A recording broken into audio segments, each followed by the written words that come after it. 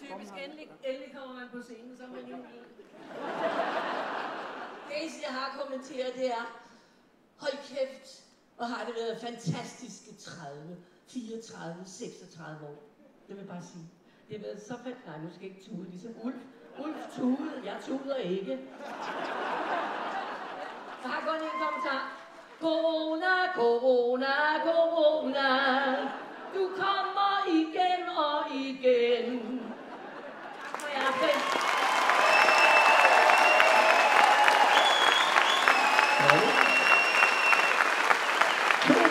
til Lisbeth Dahl for 34 fantastiske sommer i Cirkusrevyen.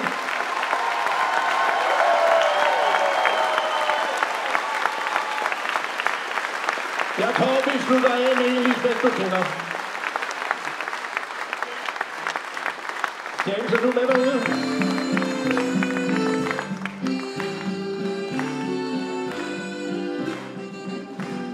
Når den gamle grønne skov har taget sin grønne kjole på, mens den hvide sejler vugter blidt på bølgeblå. Og når stranden ligger som et farve klip, mens der skinner sol